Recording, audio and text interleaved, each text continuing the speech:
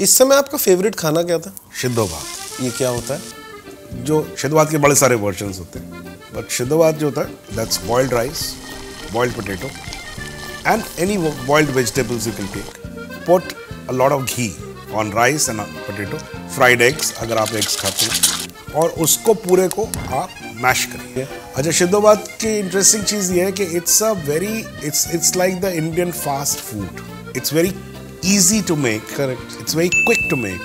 Why it became my favorite? Because माँ university में काम करती थी so she didn't have the luxury of making you know seven course meal every day तो वो अक्सर शुद्धोबात जो है वो खिला देती थी